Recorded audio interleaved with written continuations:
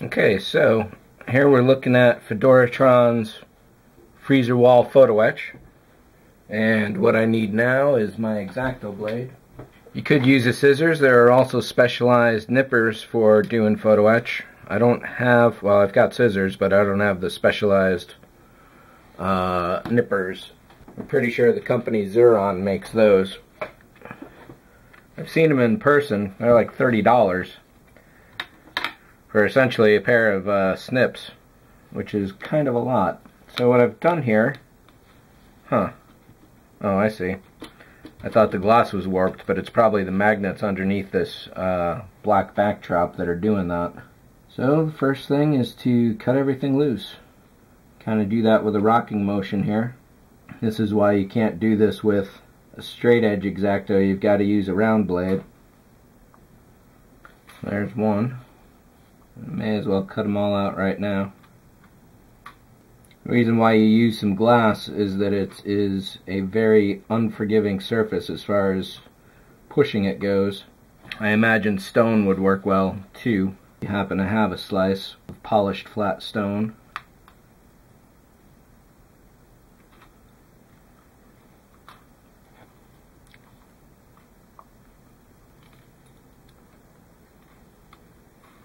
Just want to make sure I really got all these ends as well as I might have. And last one. I'm going to leave these circles in here for the moment, but I will cut them free of the larger fret. Usually I don't throw this away simply because you never know when you might need a nice little piece of brass, and this is an interesting shape right here. So uh, maybe I'll use this down the road someday on another model. So next up, these need a primering. I'm not quite ready to build this part of the freezer tube. I do want to do the walls right now only. So here's the kit piece. It's okay as is. It does have some pour stubs on it. Right there and there. That will show through with the lighting.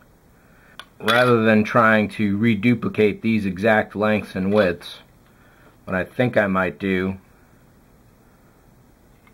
is simply glue this on top the effect is definitely nice against the light bulb there.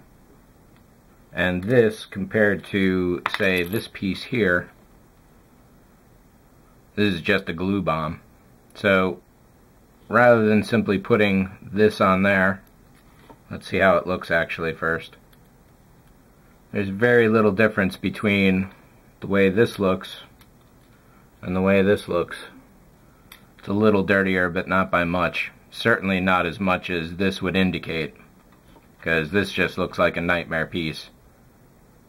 The other good thing about gluing this to the support that exists is that whereas this is just basically paper thin, this piece here is rather sturdy. Yeah, so I think that's what we're going to do. And you know what? While I'm at it, I'm going to cut these little guys out of here. Just so I don't have to do it later.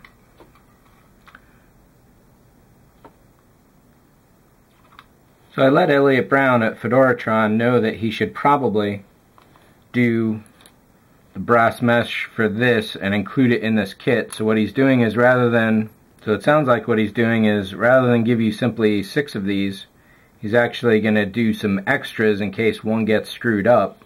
And he'll that way he'll have the space to do, I don't know if I'll have that in time to do this construction, but we'll see. And to get back to something I was saying before, this is the brass tube that comes with this kit. So what you would essentially do is cut any old length. It really wouldn't matter. It looks like this here is about 3 16ths long, which means the step on it is going to be one and a half sixteenths. That's a crazy little measurement. That's about two. That's one. So the step is 1 16th and the plug itself is 2 16ths.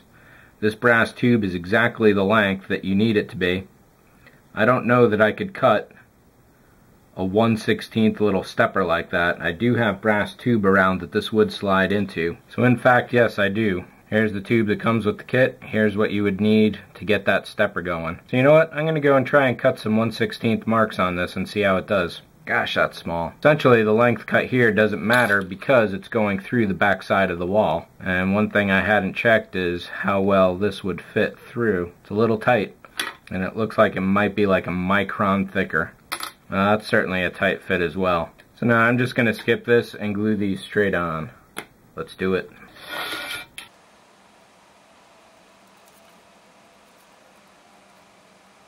This little tube here is uh, a Zap-A-Gap accessory. They say it works only with their glue bottles, but clearly it works with this, the original Super Glue Super Glue.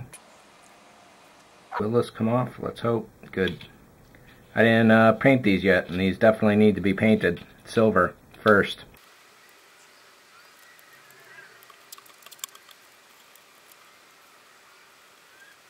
So what I'm finding is a very difficult thing to do is to actually pick these up without bending them. There we go, ready for some paint. I'll be back.